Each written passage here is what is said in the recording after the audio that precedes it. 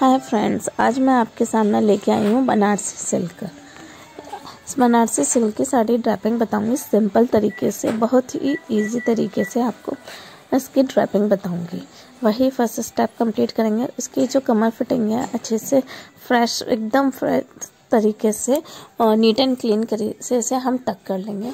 फिर ये देखिए पूरी बनारसी सूट है मैंने इसको ना छोटी छोटी पटलीस बना के इसको टक करके, पिनअप करके रख ली थी। अब मैं इसको ना पिन को पकड़े हुई पिन को पकड़ के और उसको टाइटली फिटिंग, टाइटली प्रेसिंग करके और उस पिनअप को लेकर अपने शोल्डर पर रख लूँगी। और इसकी लेंथ भी देखूँगी कितनी लेंथ ठीक रहेगी। अब इस फिर इसके छोटी छोटी पटलियों को अच्छे से अरेंज करके एक एक पटलियों को साफ़ तरीके से नीट एंड क्लीन तरीके से लेकर और इसको कमर फिटिंग भी दूँगी अभी। अब पहले लेंथ से चेक करूँगी लेंथ कितनी है, कितनी नहीं है, फिर इसको अच्छे से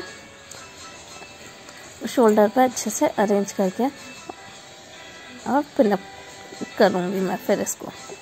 और इसको फिर मैं कमर फिटिंग दूँगी साइड प्लेट प्लेट्स दूँगी। साइड प्लेट्स को लेने के लिए देखिए, इस तरीके से मैं मैनेज करूँगी और एक एक प्लेट्स बनाऊँगी। बहुत ही नीट एंड क्लीन तरीके से छोटी छोटी प्लेट्स बनाऊँगी और इसको अच्छे तरीके से, साफ़ तरीके से एक एक प्लेट्स लूँगी फिर उसको मैं एक एक प्लेट्स और फिर इसमें पिनअप कर लूँगी। आज मैंने पिनअप करी है। क्योंकि बनारसी सिल्क का जो कपड़ा होता है ना, वो थोड़ा सा मोटा होता है। मोटा होने के वजह से वो जैसे हम दबा लें टक कर लेते हैं ना तो उसको ना फिर हमारा टमी और ज़्यादा मोटा लगेगा। इससे अगर पिनअप करूँगी, पिनअप करने के बाद और थोड़ा सा इसको जो निकला हुआ है साइड से, उसको मैं टक कर लूँगी। उससे क्या होगा, एकदम प्रॉपर फिनिशिंग और जो हमारा टमी वाला पोर्शन है ना, वो एकदम स्लिम लगेगा। अगर मैं इकट्ठा करके अगर इसको टक करूँगी तो फिर वो थोड़ा सा ना मोटा मोटा सा दिखाई देगा। देखिए इस तरीके से मैंने अरेंज कर लिया। अब यहाँ मैं पिनअप कर लूँगी। इसको मैंने पिनअप कर कर लूँगी अच्छे से। और फिर पिनअप करने के बाद इसकी ना मैं आ, प्लेट्स बनाऊँगी। वही। देखिए इस तरीके से। एक एक पीछे तक इसको मैनेज करके। अब अब अब अब मैं प्लेट्स बनाऊँगी। प्लेट्स एक एक एक एक से राउंड तरीके से प्लेट्स बनाई। इस तरीके से।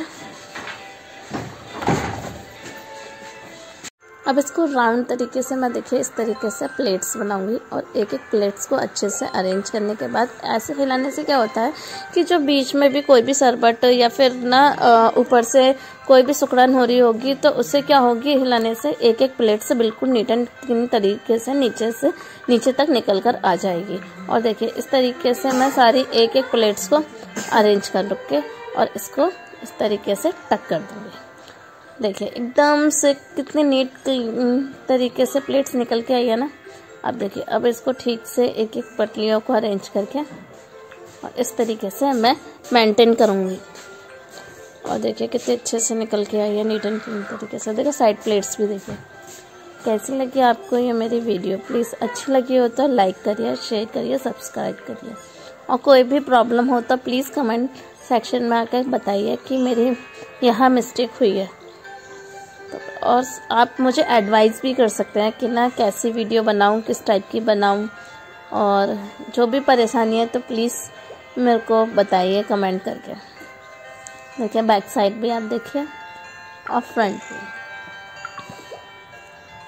हालाँकि मेरी टमी बाहर थोड़ा सा निकली हुई है और देखिए, मैंने इस तरीके से मैनेज करके पहनी है जिससे लगेगी भी नहीं कि बाहर निकलेगी थैंक यू